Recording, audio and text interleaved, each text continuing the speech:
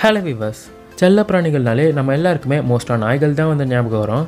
ஏன்னா அது அன்பாகவும் ஜாலியாகவும் வந்து இருக்கும் ஆனால் அந்த காலத்தில் நாய்களை வெறும் காவலுக்காகவும் வேட்டையாடம் தான் வந்து பயன்படுத்தியிருக்காங்க அப்படி இந்த உலகத்தில் இருக்க ரொம்ப ஆபத்தான நாய்களை பற்றி தான் இந்த வீடியோவில் நம்ம பார்க்க போகிறோம் இந்த வீடியோ பார்த்து முடிச்சதுக்கப்புறம் உங்களுக்கு பிடிச்சிருந்தா ஒரு லைக்கை ஒன்று போட்டு விடுங்க. ஏன்னா நீங்கள் போகிற ஒவ்வொரு லைக்கும் தான் என்னை அடுத்தடுத்த வீடியோஸ் பண்ண மோட்டிவேட் பண்ணுது.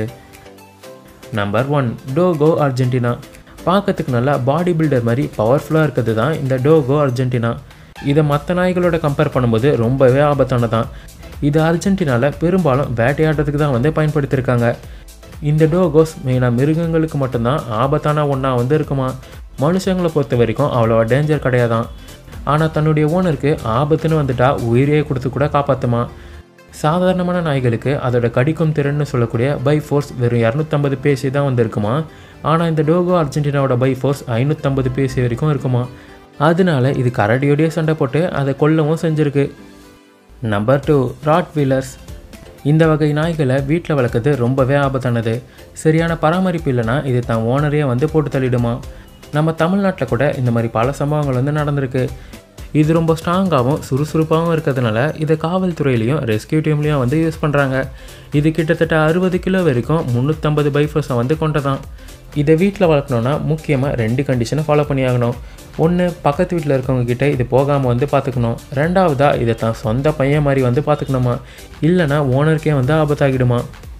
நம்பர் த்ரீ அமெரிக்கன் பிட்புல் பார்க்கறதுக்கு ரொம்ப சின்னதாக இருந்தாலும் இந்த அமெரிக்கன் பிட்புல் ரொம்ப ரொம்ப ஆபத்தானது. இதுங்களால ரொம்ப வேகமாகவும் ஓட முடியும் அதே நேரத்தில் ரொம்ப ஹைட்டாகவும் ஜம்ப் பண்ண முடியும்ன்ட்டு ஏகப்பட்ட திறமைகள் வந்து இருக்குது இதுக்கு முன்னாடி பார்த்த டோகோ அர்ஜென்டினா நாய்களை விட இது ரொம்பவே கட்டுமஸ்தானாக வந்து இருக்குமா ஆனால் இதோட பை ஃபோர்ஸ் வெறும் இரநூத்தி முப்பது பிஎஸ்ஐ தானா? ஆனால் இதுவே இதுக்கு ரொம்பவே அதிகமானது. ஏன்னா ஒரு தடவை கடிச்சிட்டா அதை விடவே விடாதான். இது ரொம்ப ஸ்ட்ராங்காக இருக்கிறதுனால இதை நாய் சண்டைகளில் வந்து பயன்படுத்தியிருக்காங்க. ஆனால் இதால் நிறைய பேர் பாதிக்கப்பட்டதுனால இதை நியூசிலாந்து மாதிரி கிட்டத்தட்ட பதினஞ்சு கண்ட்ரீஸில் வந்து பேன் பண்ணியிருக்காங்க. நம்பர் ஃபோர் சைபேரியன் அஸ்கி இந்த Siberian husky north eastern Asian கண்ட்ரீஸில் தான் வந்து உருவாகியிருக்கு. இது பழங்காலத்தில் குளிரான இடங்களில் தான் வந்து வாழ்ந்திருக்கு. ஆனால் இப்போ இருக்க சூழ்நிலையில் இது செல்லப்பிராணியாக வந்து வளர்க்குறாங்க.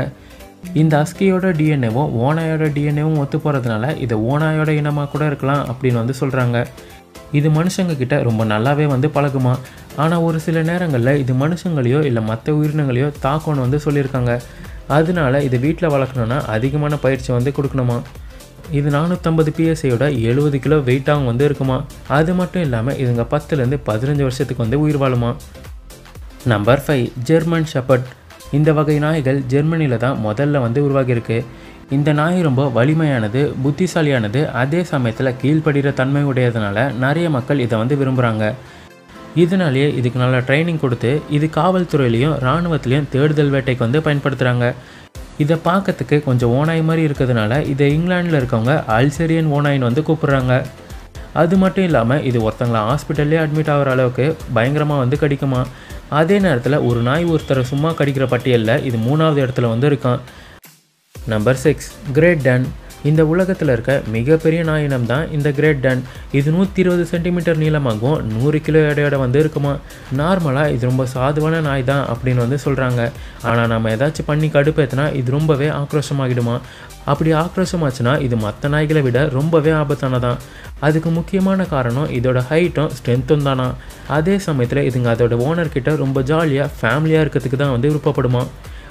ஓகே ஃப்ரெண்ட்ஸ் இதில் எந்த நாய் ரொம்ப ஆபத்தானதுன்னு நீங்கள் நினைக்கிறீங்கன்றதையும் உங்கள் வீட்டில் நாய் இருந்துச்சுன்னா அது என்ன ப்ரீடுன்றதையும் கமெண்ட் பண்ணுங்கள் இந்த வீடியோ உங்களுக்கு பிடிச்சிருந்தா லைக் பண்ணுங்கள் அப்படி உங்கள் ஃப்ரெண்ட்ஸ் அண்ட் ஃபேமிலிக்கும் ஷேர் பண்ணுறது மட்டும் இல்லாமல் மறக்காமல் சப்ஸ்கிரைப் பண்ணுங்கள்